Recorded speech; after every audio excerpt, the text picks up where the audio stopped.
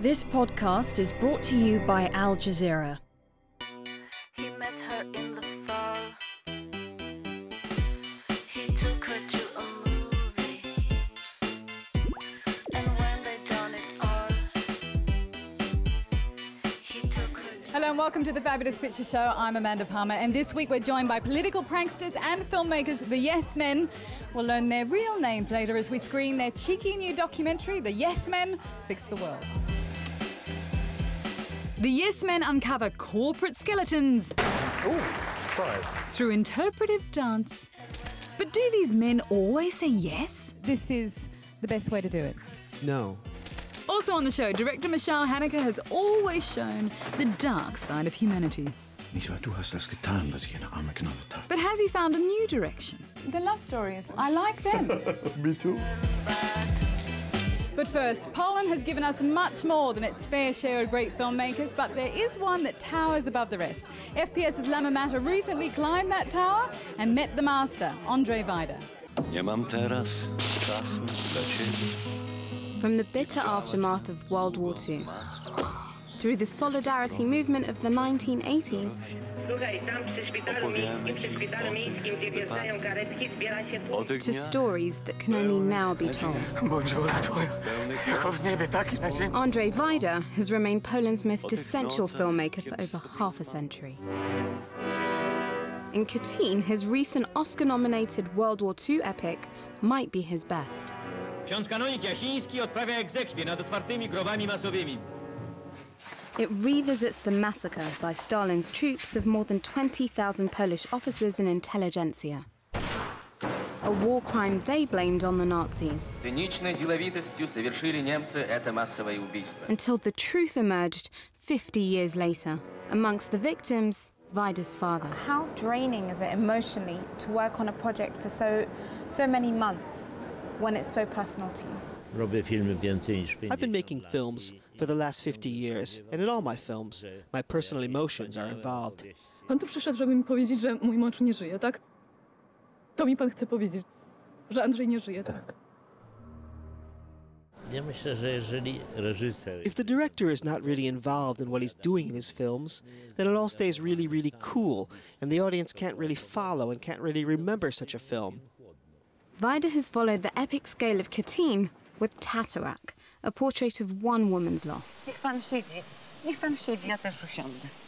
After such a big story, did you personally go out to make a more intimate story, something about someone's grief? nawet byłem zupełnie pewien, że After Katyn, which is a very politically and socially important film, I was thinking of doing something different, something fresh. I thought that doing a film like Tatarak would give me and the audience a chance to experience something different. Czytam od początku. To najważniejsze. A film within a film, Tatarak follows Krystyna Janda's character Marta, a mother grieving the loss of her sons to World War II, suddenly distracted by a young protege. Masz plecy całe w piasku. Otrzepię cię. Nie trzeba, tak się zaraz opłukę. This story is interwoven with a monologue by Yanda, Guz 8 na 10 centymetrów. warning her late husband, Wajda's esteemed cinematographer, Edward Kłosiński. Pocałowałam go i poczułam na wargach, że stygnie. Tatarak wasn't just another emotional journey for Vida.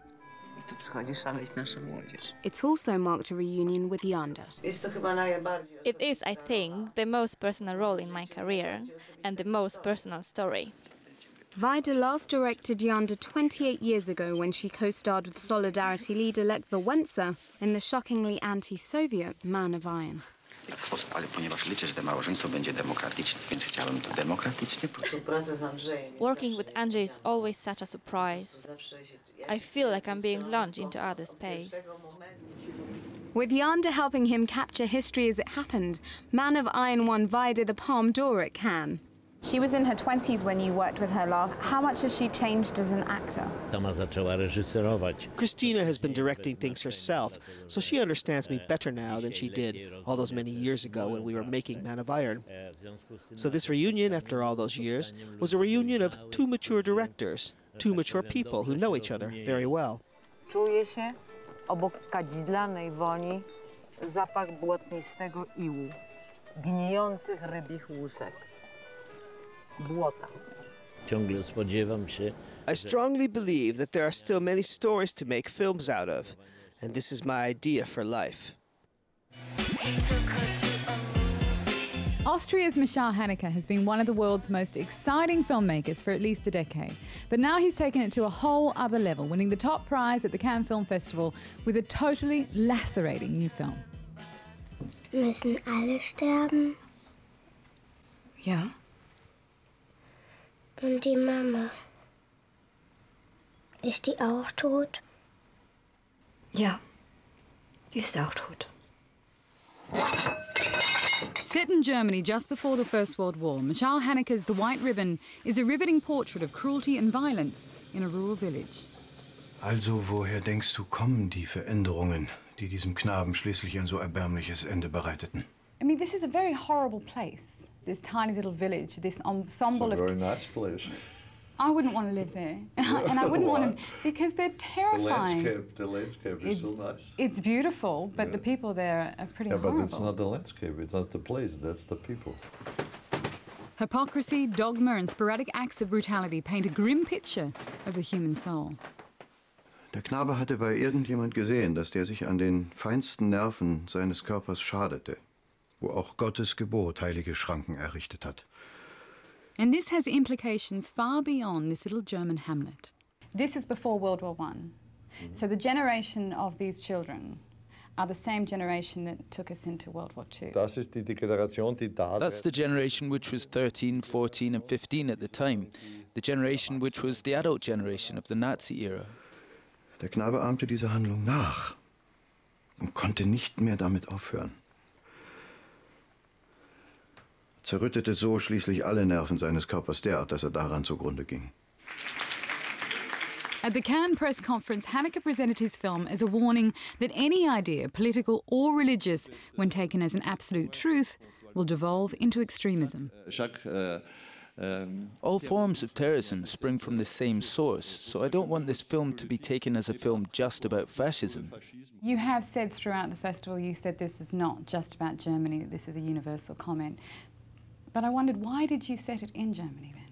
You're an Austrian. ein deutscher Film ist und weil natürlich die deutsche Geschichte Because it's a very äh, German film, and because äh, German history is a very exemplary illustration for this position and for this time.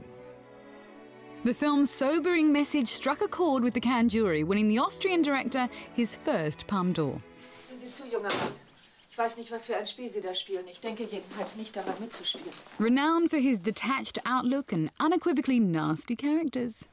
Was für ein Spiel? Haneke's films force us to examine our casual consumption of violence as entertainment. Funny Games, which sees a middle class family terrorized by unknown intruders, has the elements of a classic thriller. But when the villains turn their gaze in our direction, Haneke reminds us that we are in fact complicit in the horror unfolding. Sie wetten mit uns, dass Sie morgen um neun noch leben, wir mit Ihnen, dass Sie tot sind. Okay? Was meinen Sie? Denken Sie, Sie haben eine Chance zu gewinnen? The Piano Teacher is a startling portrait of lust and masochism, starring French icon Isabelle Huppert. As a repressed piano teacher who specializes in Schubert and self mutilation. Once again, using the thriller hook to reel in the audience, Haneke's widely admired Hidden Montrez-vous, espèce de lâche places a well to do Parisian family in the gaze of a secret camera. Comment j'ai fait pour pas le voir Ce type, euh, c'est un mystère. hein. When they start to receive anonymous tapes and disturbing messages, long buried misdeeds from husband Georges' childhood explode into present day bloodshed. A theme strongly reprised in The White Ribbon. As again, returning to this, that it isn't just about Germany, but it certainly seems to be a very strong comment about becoming accustomed to violence in that generation. Das ist natürlich einer der Gründe. Also wer das Opfer von Well, those who are victims of violence are more prepared to commit violence. That's a known fact. Warum weinst du? Soll ich dir das Geständnis ersparen? Nicht wahr? Du hast das getan, was jene arme Knabe tat.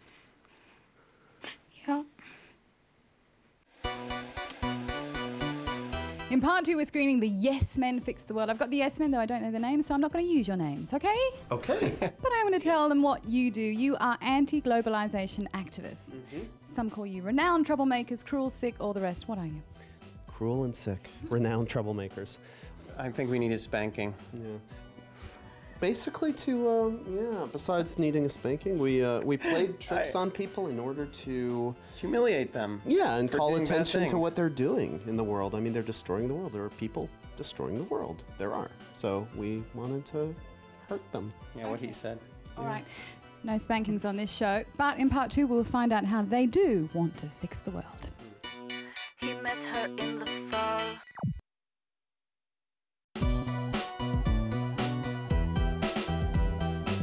everybody. Welcome to this special screening of the Yes Men Fix the World. At the moment, you're going under Andy and you're going under Mike, right? Right. You got So- us there, yep. Uh, Gotcha. But they're not their real names, obviously. Tell us who you are and tell us about your film.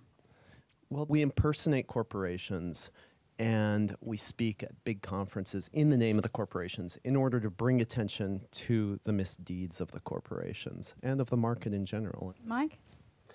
Um, we started making this movie about four years ago um, when we got an invitation from the BBC to appear on the 20th anniversary of the Bhopal catastrophe and to make a statement. And that's kind of uh, became the beginning of a long journey where we explored really what Dow's motivations were as a company and in general what uh, could happen if we keep letting the market lead uh, us as a civilization. In 1984, when Union Carbide's pesticide plant at Bhopal exploded, at least 5,000 people died within weeks. It was the biggest industrial disaster in history. When Dow Chemical bought Union Carbide in 2001, they promised fair compensation for Carbide's past negligence. But we knew they wouldn't, so we decided to do it for them. After the Yes Men set up a fake website pretending to be official Dow representatives, they were contacted by BBC News Joining us live from Paris now is Jude Finisterra. and invited to make a statement on behalf of Dow on live TV. For the first time, Dow is accepting full responsibility for the Bhopal catastrophe. The effect of this announcement was a $2 billion drop in Dow's market value in just 23 minutes. But this wasn't the first time the duplicitous duo created media shockwaves. Louisiana officials are taken for a ride by the Yes Men. The Yes Men? World renowned troublemakers. Sick, twisted, cruel. We target people we see as criminals, and we steal their identity to try to make them honest or to try to present a more honest face. In their first film, the pair posed as spokesman for the WTO, launching a new device for exploitative employers to monitor sweatshop workers. And they extolled the virtues of recycling human waste on behalf of McDonald's as a solution to food shortages in developing nations. In the Yes Men Fix the World, they impersonate Halliburton reps, pitching the paranoid elite a new product to survive calamities.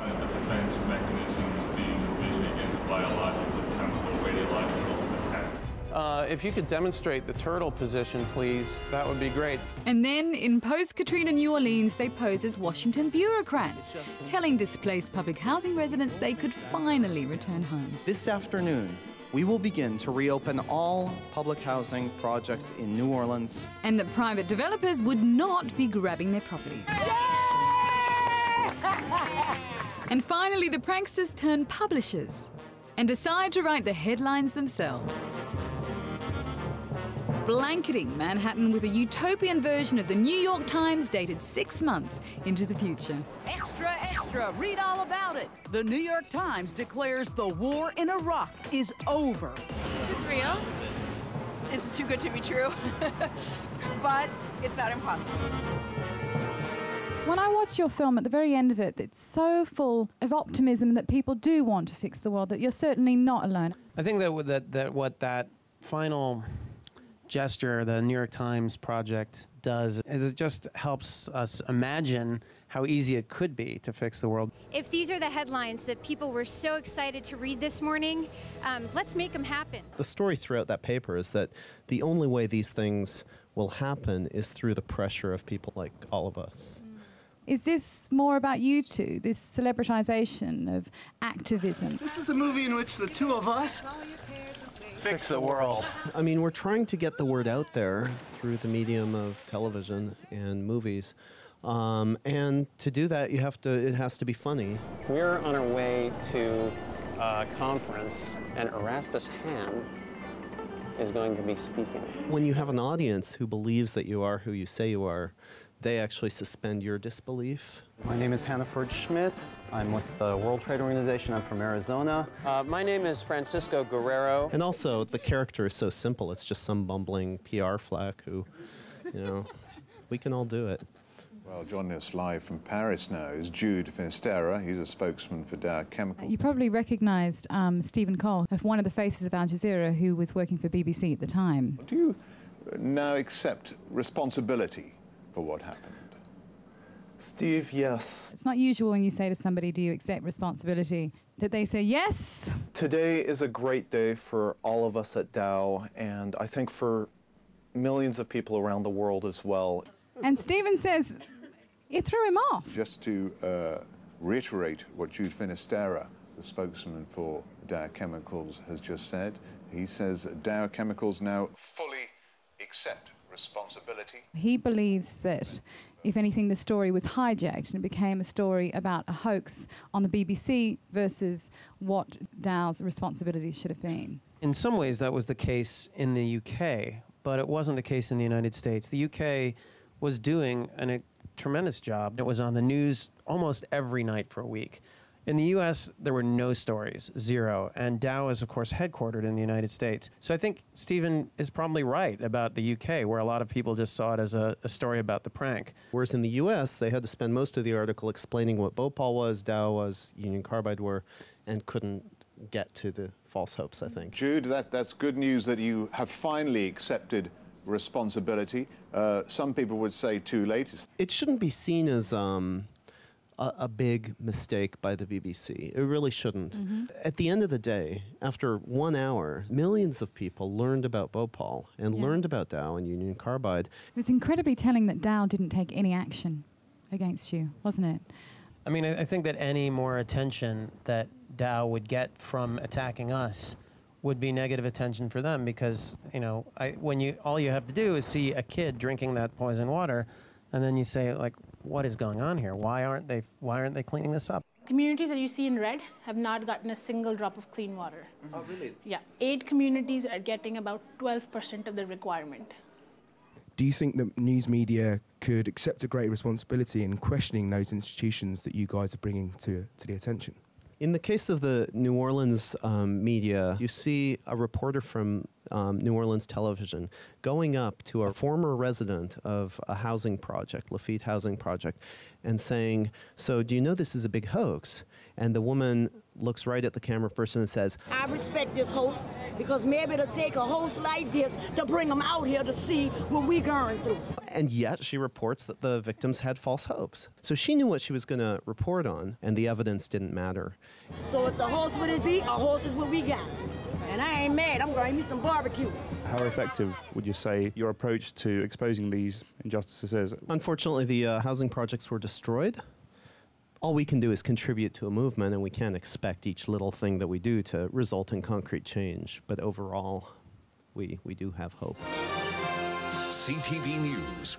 Good evening. A bizarre situation today at the Go Expo Energy Conference at Stampede Park. Organizers and hundreds of Alberta oil and gas executives got duped. This is where you create the alternate biofuel by using human flesh. Our friend Reggie.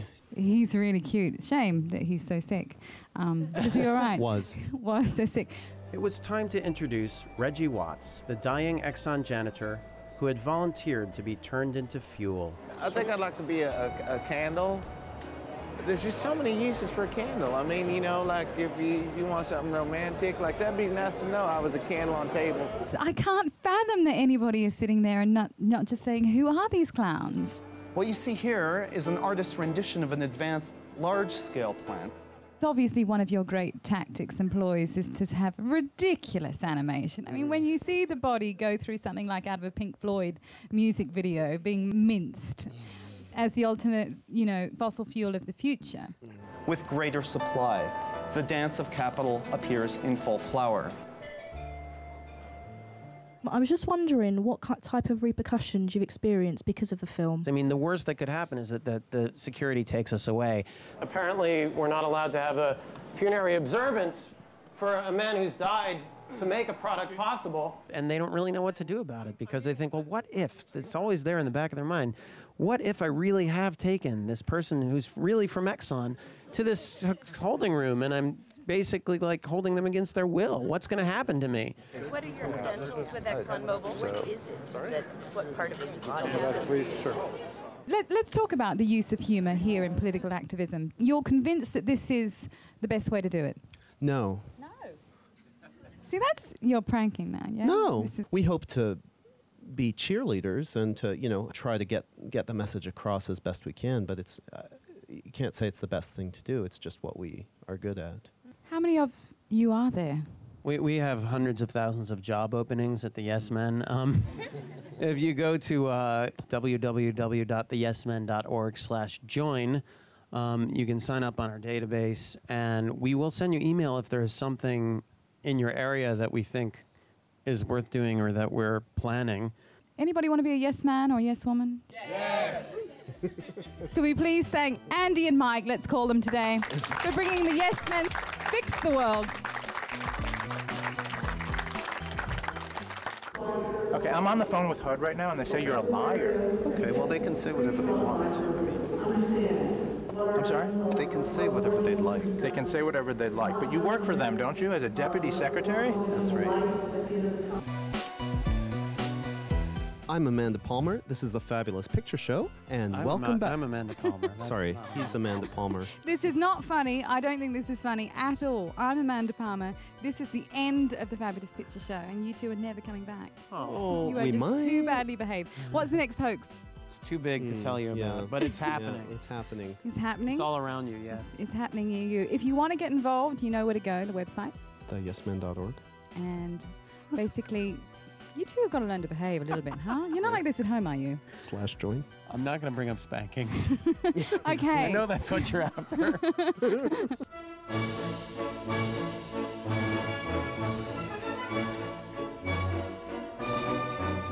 On a scale of 1 to 10, what would you give this film and why? I'll definitely rate this film a nine, a very high nine. I found it hilarious. I thought it was really amusing and, and it dealt with very serious issues. What the film proves and what it proves to me is that there's actually just a simple formula and it's just about questioning the authorities that we take for granted.